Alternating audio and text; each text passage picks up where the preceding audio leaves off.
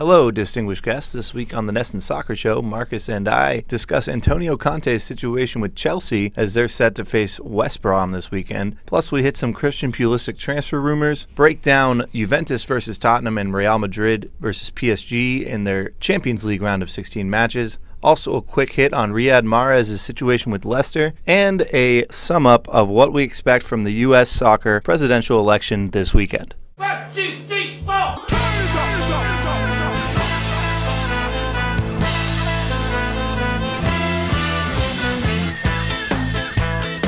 Hello and welcome to the NESN Soccer Show.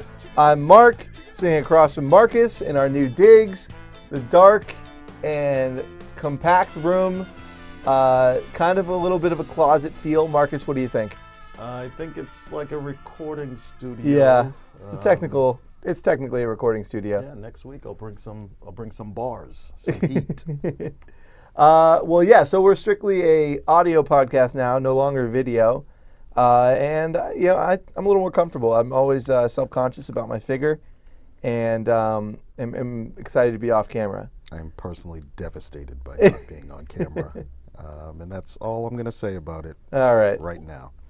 Well, there's a lot going on in the world of soccer, and we, we do like to talk about soccer. First and foremost is what's going on with Chelsea in the Premier League, and specifically Antonio Conte, their head coach. They're still in the top four, still in Champions League, still in the FA Cup, but they lost 4 to 1 to Watford after going down to 10 men 30 minutes into their match. It's kind of been a downward spin, not exactly making great strides in the January transfer window. But did they do this is- anything? I don't think they did anything in January. yeah, I don't think uh, exactly. Oh, that's not true. No, Small they- strides, yeah, yeah. But this is a team that won the Premier League last year. Right. And now, of course, Man City is running away from the field. And while it may not be so surprising to see some of the teams that far behind Man City, I think most people are surprised, you know, going into the season that it has become that Chelsea hasn't been able to keep pace at all. Yeah. So we kind of went through and like tried to dissect what has gone wrong, and you came up with some good things. I think the most obvious one is Man City got really good, and there's not really any secret to that. Right. Another thing which we left off is defending the Premier League title is one of the hardest things to do, and Yeah. uh, I don't think anybody's been able to do it since maybe 2006, 2007. Uh, it seems to be getting harder and harder every year, and you can almost expect, like, look at Leicester City. You know, Yeah. they won it two years ago, and then boy, they fell off. Uh, you know, they fired Claudio Ranieri just to just to save themselves from relegation. Take who won it last year? Chelsea. Chelsea, yeah. won it last year. They're nowhere close this year. So, yeah, it's uh, it's just one of those things that we're now past the ten year mark before or since a team's been able to uh, defend their title, and Chelsea's just the latest victim. And you know what Chelsea does when things go bad.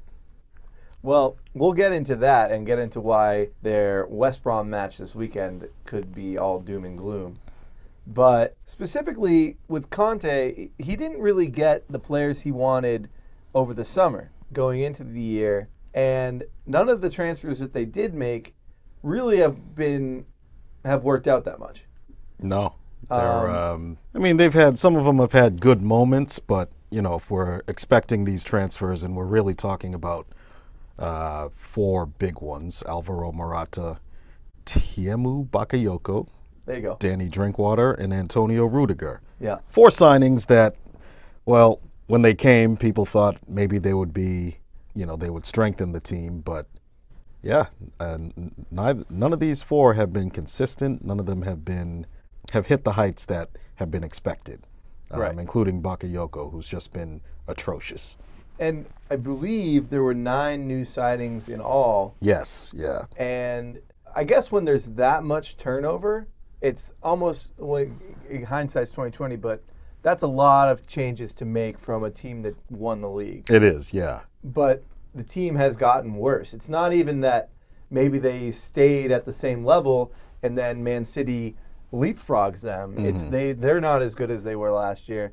This Chelsea club participating in last year's Champions League would probably be in a similar fighting for the top four position. Yeah, that was uh, that's part of it that I actually forgot about is that the demands of the added demands of the Champions League um, is you know it's taking its toll on Chelsea. Look at a guy like N'Golo Kanté, who's their uh, midfield linchpin. He can't play every game Right. in England and in Europe. No. So, yeah, they had a they, they had almost a free run at it last year, where they weren't in the Champions League, weren't in the Europa League, and made the most of it. But this year, yeah, they're they're dealing with what big clubs go through. Um, and so I guess that's where it comes in when you bring in all these new players. You're kind of looking to add depth. But why didn't Antonio Conte necessarily want these players? And why has there sort of been a power struggle developing within the club between the manager and the you know owners? Well, this isn't the thing about Chelsea is that they are Chelsea has a structure that is put in place where the manager is just the manager. He's there to coach the team, Yeah. but he's not there buying and selling the proverbial groceries. I mean, this has been highly successful since the owner Roman Abramovich came to the club in 2003, I think it was, Right. Uh, maybe 2002. Um, you know, Chelsea's arguably the winningest club in England since then. I'm looking; they've won five titles since then. If you know, since early 2000s. Yeah, yeah, and some FA Cups and Yeah. one Champions League that was a bit of a fluke. Europa League, League Cups. Chelsea's they Don't they- diminish they- winning the Champions League for Chelsea. It was a fluke. um, we'll we'll tackle that next week. But yeah, Chelsea's had uh, they they've been wildly successful uh, under this structure, but you know coaches have come and gone, and coaches have fought this particular power, and they always lose. Now Antonio Conte is a specific kind of coach who is really demanding on his players and his directors above him, his his board. And uh, you know, he went three years at Juventus, won three Serie A titles, and then fell out over, you guessed it, transfers. Right. So, you know, we kind of knew that he was going to be, he would fall out eventually over transfers, especially because at Chelsea, Michael Emenalo, their old technical director, was the Boston one. Boston University uh, alum, by Did the he way. go to Boston Yeah. University? Oh wow! All right. Yeah. I knew he had. Uh, I remember he played in Major League Soccer, but I didn't know he went to BU. Right. Yeah, Wow. but so you're saying technical director for a long time at Chelsea. Yeah, yeah, yeah. Um, yeah, he was the technical director from 2011. Uh, he's he was one of Roman Abramovich's right hand men, and Abramovich is, you know, he doesn't speak in the media. He doesn't. He's not one of those activist owners. He puts Right. his people in place and let them run the show. Uh, the other one being Mariana Granovskaia. Uh, if I I might have butchered her name, and I'm sorry, but she is probably the top power broker left at Chelsea, and yeah, she's you know. Well, do we think Emenalo was maybe a middleman between Conte and the ownership group? oh, he was. Yeah, Yeah. he was the. Uh, he was probably Conte's biggest supporter and a bit of the heat shield to Mm-hmm. keep him from going. voice in those meetings that maybe Conte wasn't involved in Yeah, as far as getting players. Right, right. Um, yeah, so it's been uh, it's been problematic, and last off season we kind of knew something was up with Chelsea because Conte signed a new contract that was for more money, but didn't add any years to it. So, yeah, this is uh, it looked like it was short term at the beginning. So Antonio Conte signed a new contract same amount of years, more money. Uh, we we knew something was going to happen at the end of this season, but this week all the chatter has been Conte might go. Um, it was actually written where if they lost to Watford, Chelsea would fire him. I didn't necessarily believe it because Chelsea's still alive in the Champions League, still alive in the FA Cup, and still in fourth place, I believe. Yep. They're So- fourth place. Yeah, they're not going to win the league, but they are on track for doing something positive, making something positive out of this season. Yeah. Well, Conte saving his job, I think, is just keeping Chelsea in those top four positions. Um, you know, the club does its budgeting and its planning for being in the Champions League. So as long as it still looks like they're in the Champions League, uh, he should be safe through the end of the season, I think. yeah. Well, assuming that the worst does happen and West Brom is able to maybe steal a victory versus Chelsea this weekend and send them into spiral and Conte is is sacked right away. What do you think would happen next as far as managers that would be hired to replace him? I think they would go for a stopgap, somebody that would come in for two months, sorry, three months, maybe four. Yeah. Uh, most likely being Guus Hiddink, who took over after Jose Mourinho was fired, and then uh, Carlo Ancelotti. He's out of work, and I think he's in London right now. Uh, he's somebody who could come in and take over for a couple months, maybe right the ship. Uh, that seems to be what Chelsea has been, uh, what, what they've been doing. You know, Chelsea's been firing managers for a decade now. Um, but what they always seem to do is bring somebody from either in house or close by to just steady the ship for a couple months, and then they get somebody right. somebody that new, Seems to make the most sense. and then the cycle continues. And that's if they if they fired Conte in the beginning or before the end of the season. right. Now, after the season, two names have come up from Spain Luis Enrique, former Barcelona coach, won a treble with them in 2014, and Diego Simeone, who is uh, Atletico Madrid's coach. Everybody in Europe has wanted him for the last few years, but he's so wedded and embedded to that club, they haven't been able to get him. You know, it's possible. Should he want a new challenge or want to, uh, you know, try his luck somewhere else? Yeah, Chelsea would be interested in him. All right. Well, good to know. And and what I was going to say is that West Brom has been. It seems that Chelsea will come up against West Brom at a hectic time in their season and lose, and then sack their manager the next day or day of. Well, that's happened uh, three times before, I believe, uh, or maybe twice before in recent years. So, yeah, they play Monday. Yeah, It's something to watch. Maybe Tuesday we'll uh, have some news on Conte. keep your eye on that one. But there was a board meeting after the Watford game, and they decided to stick with him. So I don't think they would have another board meeting after the next game and then change their minds. But you never know. There's always a bit of chaos running around there. rumors swirling, and more rumors swirling about Christian Pulisic and his possible transfer away from Borussia Dortmund. This has come up before, and I think it is. I don't think anybody will be surprised for him to eventually move away from Dortmund, No, but seems like maybe it'll actually happen at this point. Uh, Manchester United and Bayern Munich are both reportedly in the mix to try and get him. What What are your biggest like? What, what do you buy into most with uh, these latest rumors with Pulisic?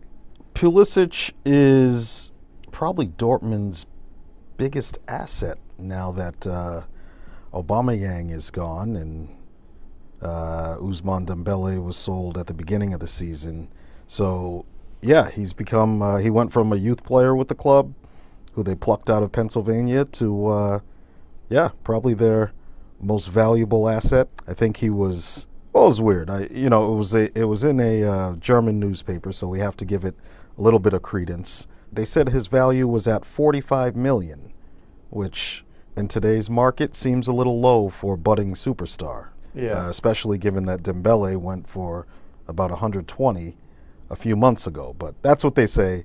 That's something. That's a figure that Man United could, you know, they could find in there, in between the couch cushions. Bayern Munich could come up with that money.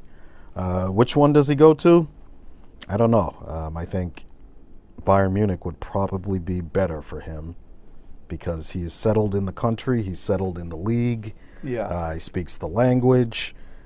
Not saying he doesn't speak English, Right. but uh, he, he's definitely settled in the German scene. And going to Bayern Munich, you know, that's a club that that's where you really learn how to be a world class player and what it takes and what you have to do on a day to day basis to really to play at that level. Um, Yeah. And that's no disrespect to Dortmund. That's no disrespect to even Manchester United, but Bayern Munich is a club that is, you know, competing for the Bundesliga and the UEFA Champions League every year. They are a super club, and if Pulisic is going to be a super player, he should go to a super club, especially at his age. He's only 19. You know, three years at Bayern, four years at Bayern. He could go and play wherever he wanted for the rest of the life, uh, the rest of his life, and he'd be fully prepared and have uh, the pedigree. Yeah. I'm not convinced that Pulisic will even be moving this summer. Just not yet. I think he will move. I think basically he's there for ano- he's at Dortmund for another year and a half before he's moved. Uh, well, his contract is up in 2020. Yeah.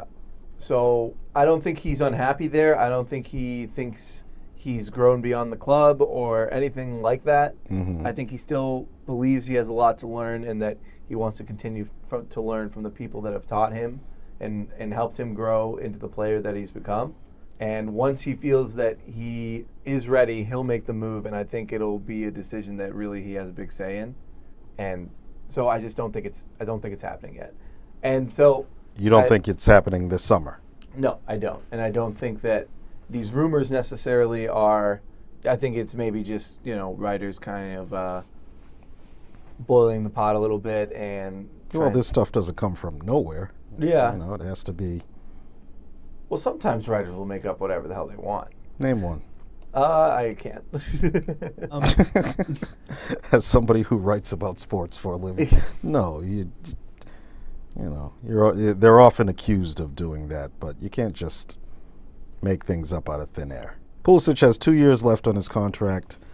His club, Dortmund, might be they're either treading water or they're sliding backwards from certainly from the heights of recent seasons. And if they don't do something to really, you know, push themselves forward, I'm not saying they're going to catch Bayern Munich, but you Yeah. know, how long does Pulisic stay there just to be there? You know, Right. they're not they're not really competing for anything anymore. I think maybe next summer might, d- depending on their summer transfer plans and how what the club has going forward. You know, if Bayern Munich comes calling or Manchester United comes calling, you go. You know, he has a say in it, but yeah, these are these are places where you know there's tens of thousands of professional players around the world, and only about 40 of them, 40 of them are getting games at either of these clubs. So Right. Let's move on to matches of the weekend. And we're also going to sort of look ahead to next week's champion, Champions League matches. But before we get to that, Tottenham and Arsenal play on Saturday, February 10th, 7:30 a.m. at Wembley Stadium. Always a big match, at least in London. Any thoughts on this one? Why do we want to talk about this one? because uh, Arsenal is suddenly back in the in the news due to their January transfer spending, which we analyzed to death last week. It's the North London Derby. Yeah. always a big game in London. You know, for Tot- for for Arsenal fans and Tottenham fans, this you know this game means the world. Yeah, it'll be it'll be early. It'll be at Wembley, and there'll be a big big crowd, a lot of fireworks. I'm kind of more interested in Tottenham's match after that versus Juventus. Champions League round of 16, back Uh, underway the Champions League. This is going to be at Juventus Stadium. Tottenham, as we may have even forgotten, had an incredible Champions League group stage and kind of surprised a lot of people. They Um, did. Did they win the group, or was They it? did. They uh, won the group of death, as we said, with Real Madrid and Dortmund. Juventus reached the final last year. Maybe have taken the slightest of steps backward this year, but aside from Real Madrid and PSG, this is the most interesting round of 16 matchup I think we have in this year's Champions League. Yeah, that'll definitely be the game to watch on Tuesday. Although I think, you know, Tottenham fans are really geared up for this. They think they have a good shot at getting to the uh, be the quarterfinals.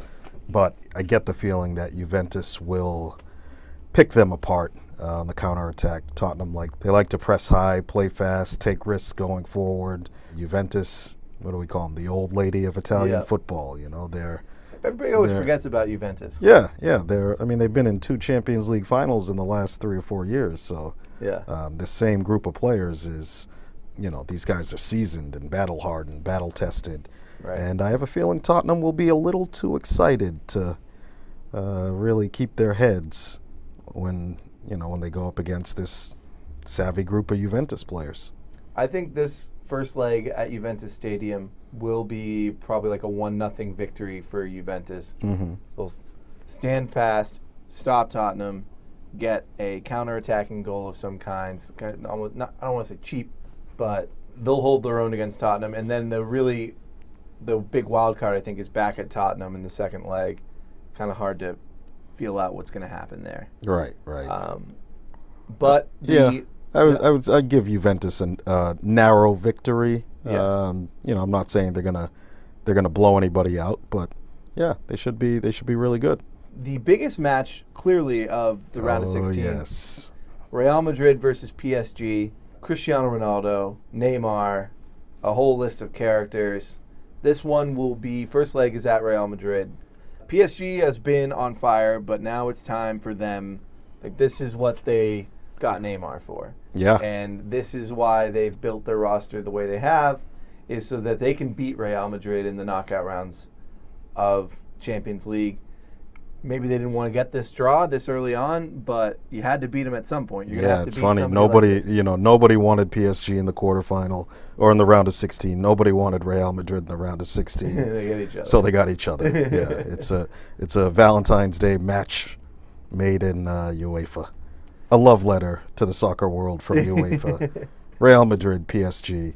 Uh, yeah, I've been looking forward to this one for I don't know two and a months. two and a half months. Yeah. uh, just waiting for it, and the day is almost here. And by almost, I mean seven days from now. yeah. Any what do you look for in this match? I mean, Real Madrid hasn't had the kind of season or campaign that they were hoping for, yeah, they've been but pretty here they are. Yeah, blood and thunder mostly. Yeah, I have a feeling. I mean, if Real Madrid goes out in the round of 16, this could be the end of for Zinedine, Zinedine Yeah, Zidane, who is, uh, you know, the two-time defending Champions League winning coach. It would be shocking, but I guess I wouldn't be too shocked if that's the result. You know, Things Re- happen fast, right? Yeah, yeah. Real Madrid's targets are usually the Champions League semifinal or final, so. Right. But yeah, they, they haven't been at their level this season. And actually, Bayern Munich's coach, I saw him uh, uh, some quotes from him yesterday, and he was saying that Real Madrid let important players go, important veterans in the offseason, uh, James Rodriguez, Pepe, and somebody else who I can't remember, and thought that they would fill those gaps with young players uh, in an effort to save on salary and, you know, kind of evolve the team to the next next level. Well, those that were supposed to replace James and supposed to replace Pepe just haven't been uh, up to the standard. And then you got a guy like Cristiano Ronaldo who hasn't been playing as well, certainly domestically. Is so, he getting old? well, he's 33. So do you think he's done being Cristiano Ronaldo? Besides, say from some flashes, I mean, he, is he done being that guy uh, for an entire season? No, No. uh, no, he's he's got a problem with his with his team and his employer, and it's affecting his performances. I believe. Uh huh. Well, we'll see how that one goes. 2:45 p.m. in in Madrid on Wednesday, February 14th, Valentine's Day. Uh, Did you, already said did you just did that just just occur to you? Yes. Um, all all my metaphors and puns and jeez, we got to get out of this closet here. We gotta turn the light on next time. yeah, maybe that's Have a coffee right, right as we start. Maybe that's what it is. Well, you, you got a final word? Nope. No. well, I got a final word. Actually, I wanted to talk real quick about Riyad Mahrez. Oh, I guess has oh, been- okay. He's been holding out of practice. This is Yeah, Riyad. Riyad Mahrez has been on strike for the last week. right. So he's not. Leicester has played, and he was he didn't play. Yeah. And They- I guess they- he's they had- he'll never play for them again, which I don't really know how that's going to work. Uh, I didn't see that quote, but Um, you know that's certainly what his actions suggest. Yeah. Uh, he could just sit out the rest of this four months, probably Well- get fined. Oh, he's already been fined uh, yeah. two hundred thousand pounds, Yikes, which that's is a lot to just sit on. yeah. Well, that's that's two weeks. Uh, that's two weeks salary for him, uh, Um, which I think is the maximum you can, the maximum you can be fined in in most cases. But right. yeah, it's going uh, nuclear between Mahrez and Leicester. I don't know Uh, what Leicester was expecting, but it seems like this is so. He's gonna say, he's gonna come back. He's not just gonna burn millions of pounds, you know, for months, but he'll come back and then he'll it'll be clear he won't have to say a word that he's very upset. Obviously, they already knew that, I but mean, when will he come back? How does he? Uh, how does he even get back? well, I he just won't. He won't be he's not going to try. he's, you're basically going to have a dead player on your squad. Yeah, For I mean, three you, months. You can't you can't start him if he. I and yeah, they'll have nobody to blame but themselves. It is by far it's it's worse than the worst case scenario. Basically, it's it's almost as if they thought Mahrez was bluffing about, you know, that Wanting he- to go to Not that- Manchester not- City. They knew he wanted to leave, but I think that they were they thought he was bluffing about how to what degree he w- will stop his commitment to being the best that he can be. Hmm.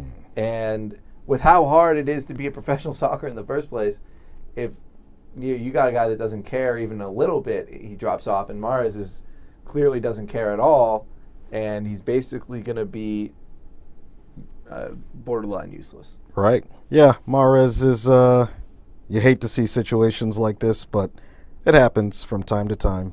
Players fall out with their teams, and yeah, it's the manager's job to bring everybody back on board, which is why Difficult. that's a job I would never do. would never want. Well, maybe by the next time we meet, he will have played or practiced. Uh, but by the next time we meet, we know for sure there will be a new president of U.S. Soccer. That election takes place February 10th. That's Saturday. We've we've discussed this before. There's a large list of candidates. hmm I don't know who's winning. There's no None way really to separating no way to make it a horse race of any of any type. There's a bit of controversy. Controversy.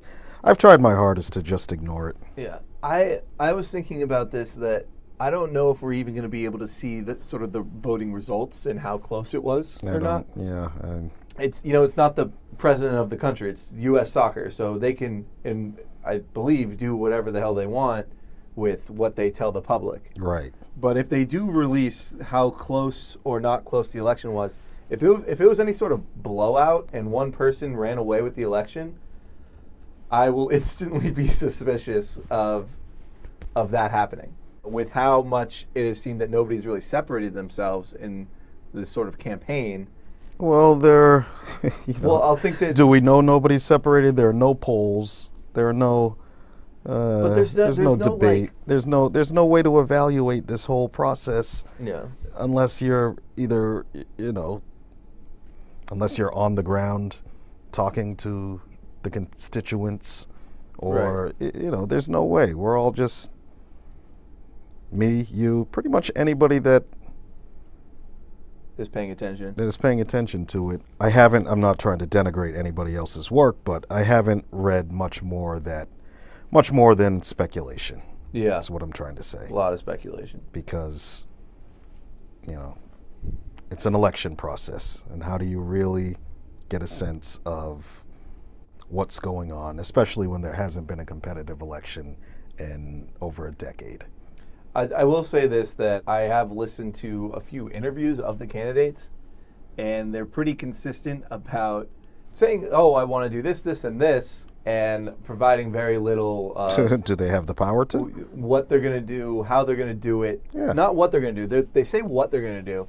How they're going to do it is they provide zero detail, and these are long form interviews where maybe they had the opportunity to provide some detail. Mm-hmm. And also, yeah, I think just none are really even aware of what the job is exactly and what power they're going to have. So uh, I guess my main point with this is when you see whoever is elected president, don't jump and be happy if it's somebody that you wanted.